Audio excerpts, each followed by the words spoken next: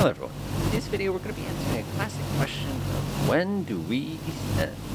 Uh, doing this today we're going to be in the PMDG DC-6. Now the reason I've chosen this plane is because this is a classic example of trying to solve a lot of problems all at once with a bunch of different things. So what I've done here is I brought us up to an incredibly stupid altitude of, uh, as you can see, about 20,000 feet, which while this aircraft will certainly go up to 20,000 feet, is not really designed to do so.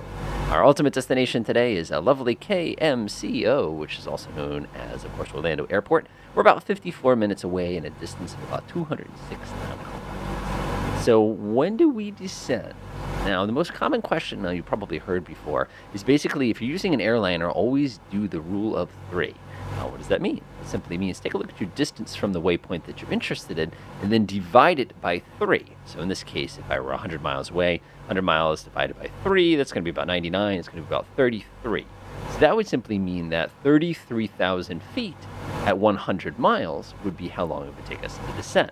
Another way to think about it is let me flip it around for you. If we are at an altitude of 10,000 and we need to come to zero feet, all you would do is take the zero, one, uh, 0,000, multiply by 3, meaning uh, 30,000, and we drop a couple zeros, and all of a sudden we get ourselves at a lovely uh, 30, which would mean about 30 nautical miles would be the total distance we descend. So taking a look at our example here, we're 203 nautical miles away right now, we're at an altitude of 20,000 feet. So if we do 20 times 3, that's going to get us 60. When this thing says 60 nautical miles, if we want to go all the way down to ground level, we would have to go ahead and start a descent at that point. Keep in mind, that's for airliners. Airliners move almost double the speed that we're moving right now. Plus, uh, what if you're flying a Cessna 172 or something and you're given the instruction to cross a certain waypoint at a certain altitude? Then you begin things a little bit differently. So there's a lot of different ways to calculate this. Um, I'm a huge fan of uh, pulling out the old E6B. Uh, if you're not a huge fan of pulling out the E6B, but you happen to have yourself a regular calculator, this is a great time to go ahead and pull that sucker out. So how does this work? Well, it's pretty straightforward. What you're simply going to do is you're going to calculate how long it's going to take yourself to descend based on what descent speed that you want. For example, let's say we want to use a thousand foot per minute descent. So 20,000 um, um, feet is how far we are. Divided by 1,000 feet per minute would mean it would take 20 minutes to descend. Now you're sitting there going, okay, that's that's fine. I can work with that. I can work with that. So um, okay, um, what, what, what does that mean for distance? Well, remember it takes 20 minutes to descend. 20 minutes is about one third of an hour. How do I know? I can simply divide this by 60, and that's going to give me a value of 0.33, which means whatever my ground speed is times that number would equal how far away I need to actually go ahead and make this out. So in this case, I'm traveling at a ground speed of 236 knots. You're saying, how do you know you're doing 236? Aha! I've got a little line right here that tells me I'm doing 236. So if I now multiply this by 236, it tells me I need to begin my descent if I want to do 1,000 feet per minute, 78 nautical miles away from my actual destination. Keep in mind, if you have varying winds or something like that, this can get a little more complicated. Now, let's say we want to go ahead and do this at 2,000 feet per minute. Well, that's pretty straightforward, too. 20,000 feet divided by 2,000 feet per minute is 10 minutes. 10 minutes divided by 60 makes up 0.16 of an hour. Now remember, we're traveling at 200 and, uh, let's go ahead and so I'm not going insane, 39 knots. So uh, 0.16 times 239 would equal 39.83 nautical miles away from my destination. What I'm going to do now is that we're going to go ahead and put this to the test and see just how close this actual technique works. Now, keep in mind, if you're running into situations where you have very, very long distances involved, this can be quite a bit uh, challenging to actually run through. And of course, if you have varying winds, this can get tricky. Air traffic control, of course, is always out there to make your life as miserable as possible.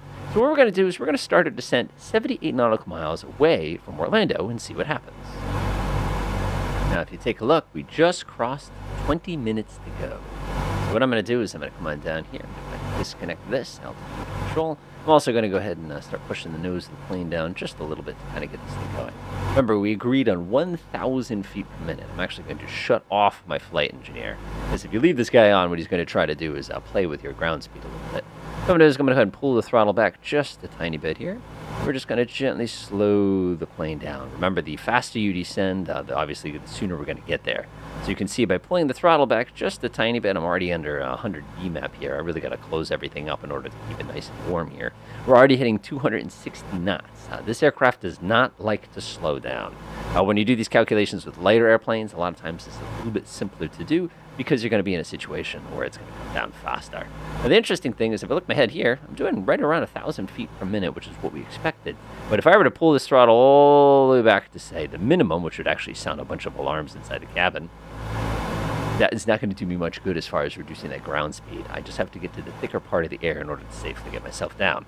So what I'm going to do is I'm going to go ahead and get myself down, and uh, we'll see how close we were based on our calculation.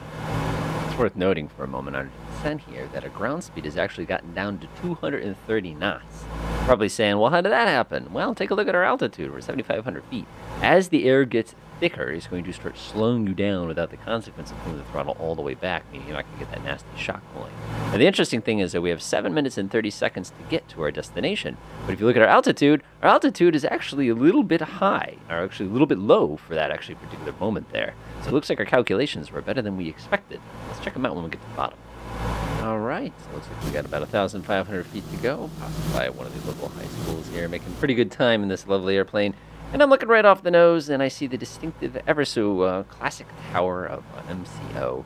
That's Orlando International Airport. Orlando proper is over that way. And of course, if we went to go visit Disney World, we can kind of head over there.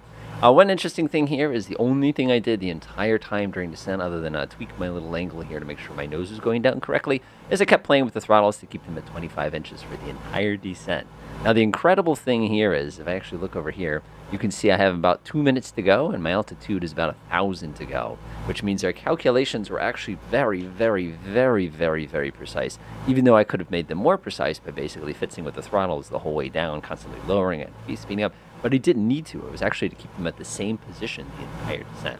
So hopefully you find this uh, video helpful as far as planning your vertical descents. Again, the short version is uh, simply take your altitude, divide by your desired vertical speed. Usually 2,000 is a good number for airliners. Then simply take that number, divide it by 60, which gives you how long it's going to descend in uh, hours. Multiply that by your ground speed. Voila, you know your exact distance you need to begin your descent. Enjoy.